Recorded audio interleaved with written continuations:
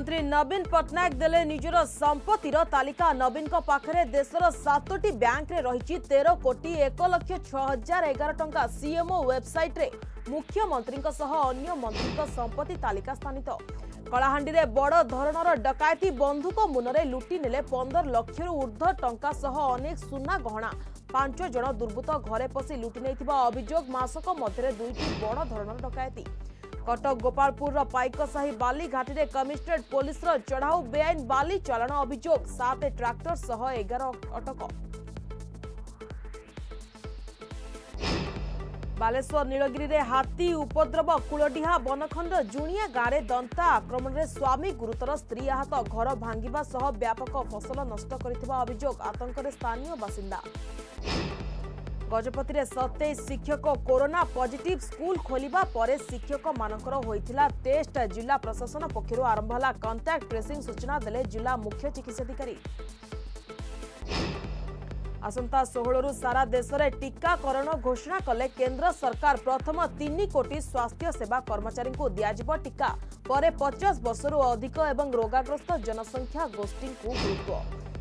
কেবে বদলিব ভাগ চাষীঙ্ক ভাগ্য কুয়াড়ে গলা সরকারঙ্ক Odisha agriculture land leasing act মিলুনি ফসলর উচিত মূল্য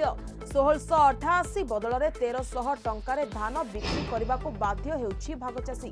অপহরণ ও হত্যা মামলার ছন্দি হয়েছেন প্রতাপ জেনা অরুণ সাহু দুই মন্ত্রী নেই রাজ্যব্যাপী প্রতিক্রিয়া প্রকাশ বহিষ্কার দাবি করুছি বিরোধী বিবাদ পরে দুই মন্ত্রী ঘর সামনে বড়া সুরক্ষা ଏବଂ ରାଜ୍ୟରୁ ବାରରୁ ପୁଣି ଲେଉଟିବ ଶୀତ ପାଞ୍ଚ ଡିଗ୍ରୀରୁ ଅଧିକ କମିବାରେ ସର୍ବନିମ୍ନ ତାପମାତ୍ରା ତେରରୁ ଉପକୂଳରେ କୁହୁଡ଼ି ବଢ଼ିବ ଆସନ୍ତା ସପ୍ତାହ ଯାଏଁ ଶୁଖିଲା ରହିବ ପାଗ you